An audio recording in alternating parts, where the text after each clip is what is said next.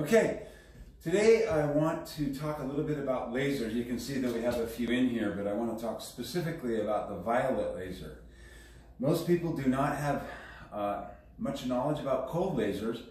You wouldn't know that the government has been doing research about how the violet laser frequency actually kills bacteria, fungus, viruses, and parasites.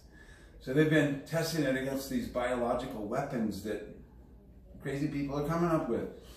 So I wanted to show you what this would look like. Um, just briefly, I'm going to turn the light off so that you can see there's a red and a violet. And I'm going to talk about specifically what the violet laser does. It's fascinating how a violet laser works. They figured out specifically what it does to, let's just take, for, for example, bacteria. Sometimes bacteria that are really harmful will go dormant and then form what's called biofilm around them. The violet laser activates the gene in the bacteria that causes them to go dormant. But it also prevents them from making biofilm. How does that play out in your body?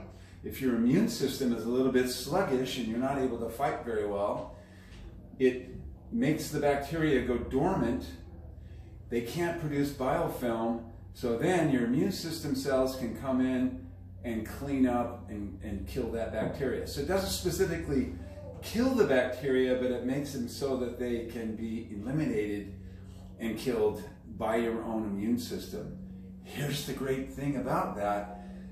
They've done tests where they've grown multiple generations of bacteria.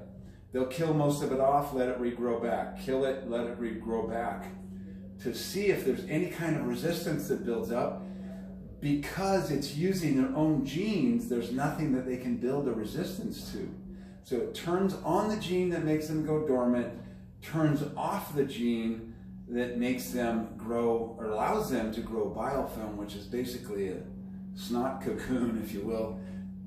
Antibiotics can't get through that film, and then they become very resistant and persistent particularly in the mouth is where they found that diseases will start. Heart disease is associated with periodontal disease.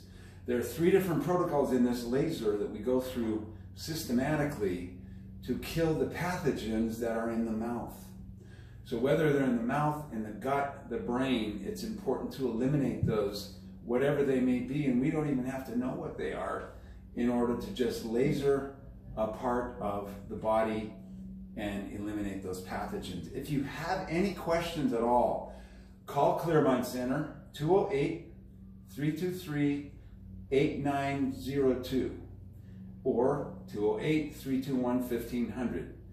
And we'll see you next uh, video about lasers.